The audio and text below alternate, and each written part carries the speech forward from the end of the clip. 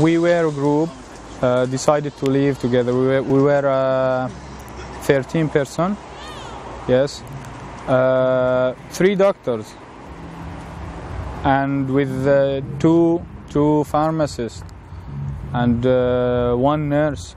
Three doctors can cover for one one health center inside Aleppo city. They can they can cover all the needs of the health center. No one cares.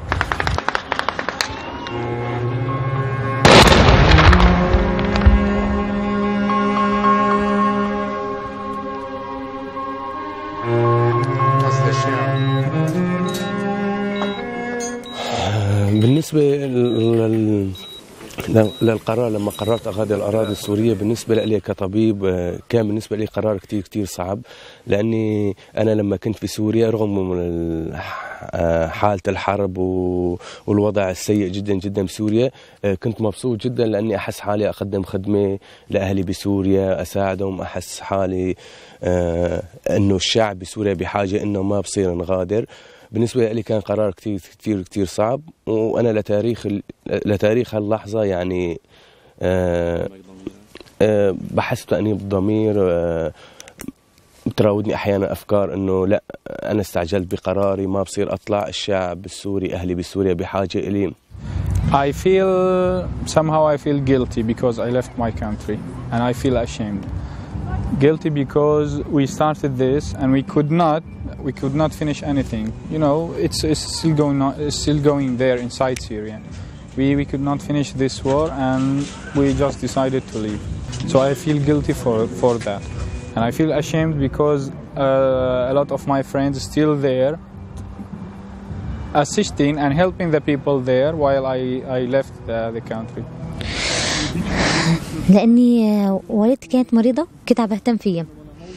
فكنت عم بستنى إنه هي تتحسن ممكن آه، ممكن أقدر أتحرك أو شيء بس هي نتيجة الأوضاع السيئة توفت. وقت خلال فترة يعني آخر تعب أنا وعدتها إنه إذا توفت فرح أطلع من سوريا. إنه غلط. ماما إيه كان بحاجة لمعالجة فيزيائية فهو كان يعالجها فيزيائيا. هو يعني بتعرف نحن عنا عدد الخطوة. إيه كان يعالجها ماما فيزيائيا يعمل لها مساج. بي فطلبني بتعرف نحن عنا الشروط إيه ومشي يعني ماما وافقت عليه فوافقت. آه، بالنسبة ككادر طبي آه، آه، مثلا آه، لما يصير قصف وهذا أول شغله كنا نسويها إنه نتشاهد نرفع إيدنا وننطق بالشهادة لأن نحن من أول ما قررنا الانضمام لمدينة حلب وريف حلب عارفين بأي لحظة نحن عبارة عن مشاريع بأي لحظة حن بأي لحظة يعني مثل كل واحد شايل فينا روحه على كفه في أي لحظة يمكن يموت وعندي أصدقاء كثير من الكادر الطبي ماتوا. كانوا آه، يعملوا معي بحلب أو سواء بريف حلب آه، ينزل مثلا البرميل أو الصاروخ يكون هو بي بي